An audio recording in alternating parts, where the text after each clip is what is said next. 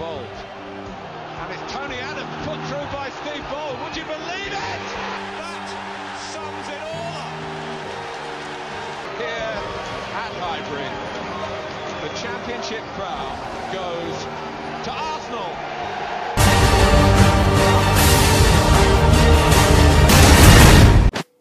The word legend is a word used an awful lot in football, but over many different players who have played the game but for Tony Adams, the word legend doesn't do the man justice.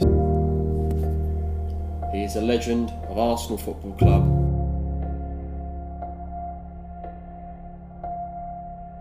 Tony Adams was born in Romford, a small town in Essex.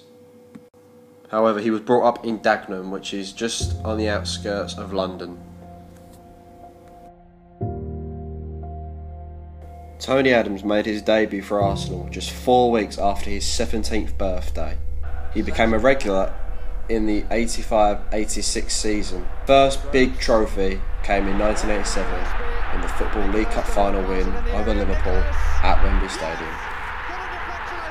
The winning goal was scored by Charlie Nicholas and it was a big, big moment for Tony Adams as that was his first trophy as Arsenal captain and it also ended a nine year trophy drought for the Gunners. That was a really important win for Arsenal's first as captain of the Arsenal team. It was really good to get that experience early on in his career and it also ended the trophy drought for Arsenal so it's a really key game. Considered one of the greatest moments in Adams' long Arsenal career, Arsenal needed two goals to win the league championship.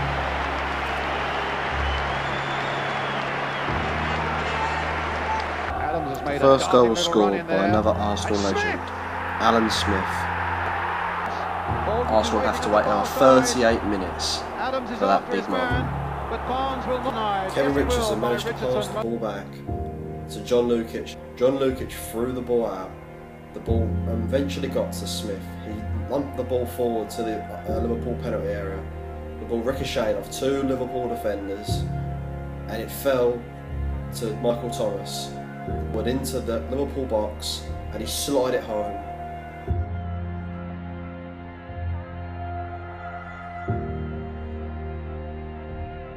The whistle went, Arsenal had done it. Tony Adams proudly held aloft the league championship trophy for the first time in his career as captain and for the first time in 19 long years for the Gunners.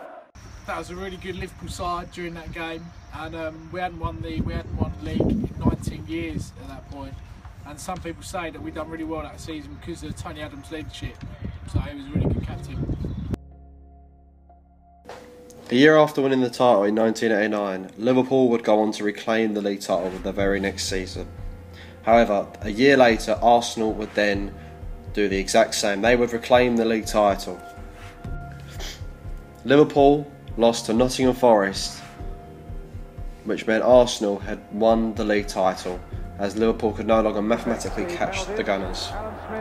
The game against Manchester United was a celebration game. Arsenal would go on to lift the league title at the end of that current game. Smith got a hat trick and scored the penalty to make it 3 0. Steve Bruce managed to get a consolation for Manchester United after penalty was awarded for a foul inside the Arsenal penalty area.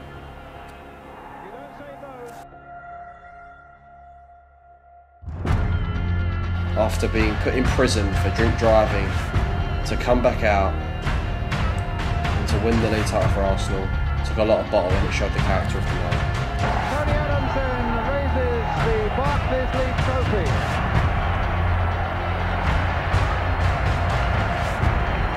To win it in front of our own supporters, you know, and to go out there and uh, do a good performance tonight. Uh, all lads were buzzing beforehand, and uh, you know we were just pleased to win it, but you know in front of our supporters. Trophies to win, and we've just won one of them. So everyone, you can you can hear them in there, absolutely delighted, every one of them.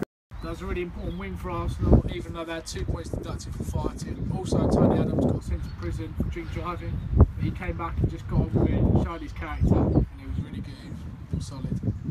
The next big moment in Tottenham's career would be the FA Cup semi-final win over Tottenham Hotspur. It was extra time and Arsenal had a free kick. The ball was lumped into the box.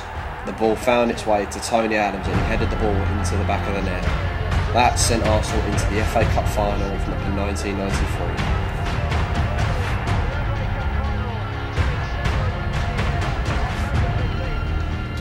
Game for Arsenal because previously we'd lost 3 1 to Tottenham at the same stage.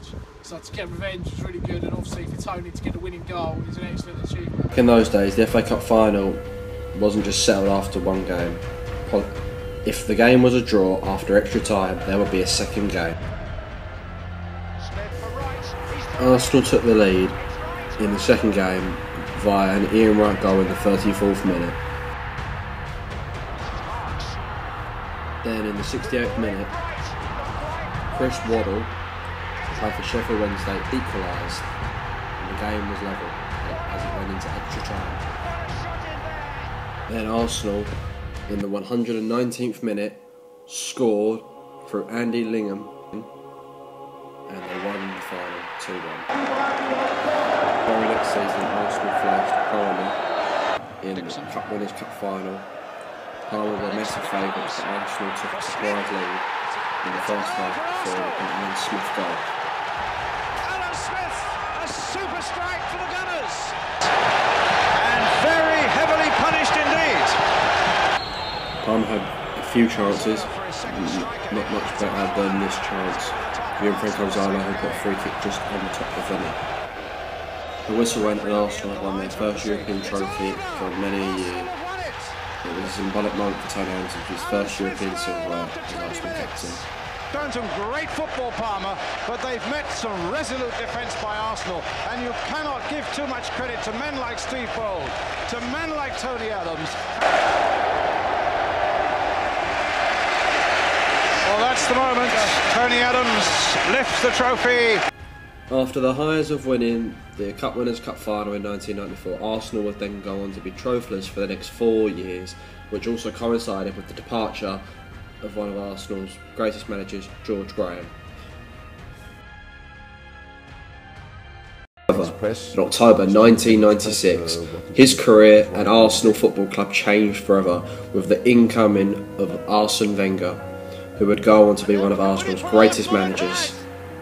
Won the league and FA Cup double with a victory over Newcastle United. However, the crowning moment for Arsene Wenger was to win the league title in his first full season as Arsenal manager. It was Arsenal's first ever Premier League title. Wenger, the current coach, he's changed the style of English football, like and at Arsenal through diets and how they spent their time. That because he wanted Arsenal to thrive in the league, whereas under Bruce Rioch, he, he struggled where he didn't have a lot of respect for the badge. After the title win in 1998, Arsenal would go on to finish runners up for the next two seasons as Manchester United would begin to establish their dominance on English football. However, in 2002, Arsenal again became league champions, but they also again won the FA Cup. The FA Cup final was played before the final game of the season. Arsenal would win the game 2 0 with a goal Ray Parlour in the 70th minute, and then finally Ljungberg, after a mistake from the Chelsea defence, managed to curl a beauty into the top corner to make it 2 0, which meant no way back for Chelsea. Arsenal have the FA Cup in the bag. One half of the double is secure. Two goals in the last 20 minutes. Both of them screamers. Again, Tony Adams was another main reason why Arsenal won the trophy. His leadership skills are demonstrated on the pitch, and you can see his rubs off on the Arsenal players.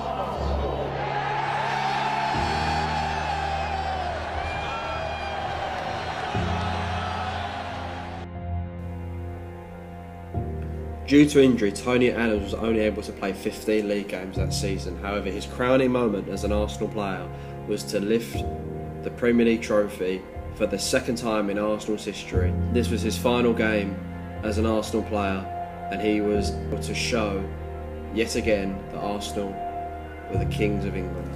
Throughout this documentary, you have seen a career full of amazing moments. What he's shown is the character and the determination to keep going and to go on to have one of the greatest careers. He is one of the sole reasons why Arsenal was successful. He will forever be remembered as Mr. Arsenal.